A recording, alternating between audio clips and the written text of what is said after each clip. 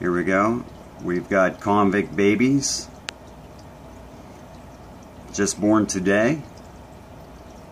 I've had this male and female in here for about two weeks. You can see they're really tiny. The mother is very protective. She has not left her side. But as soon as she does dart away, the big daddy comes over and takes over. There's the male.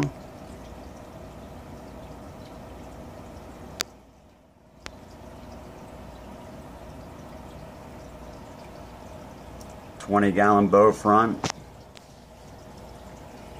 There's what she kind of looks like.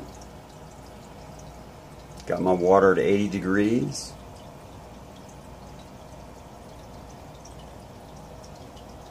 They've got a lot of holes dug. Back there. Dug out there, dug out there. Nice hole there.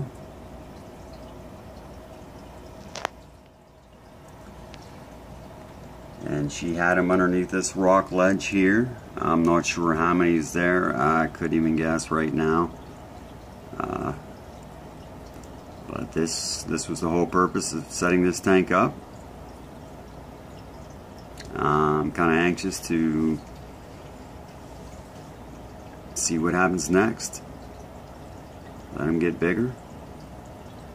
Breed on. And breed on. Keep it going. Once I got one mating pair, I should have like a couple dozen. Couple dozen. There's the one that made it happen as well. Got to give him his credit.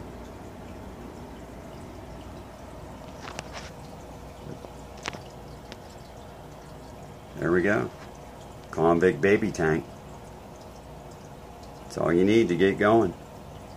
Male and a female, and a little bit of time and TLC. There you go. Here's a good shot of him. There's a good shot. Alright. This is TC's Pet Club. I'm going to keep you all informed of what's going on and hopefully we can learn together. I'll post more. Later.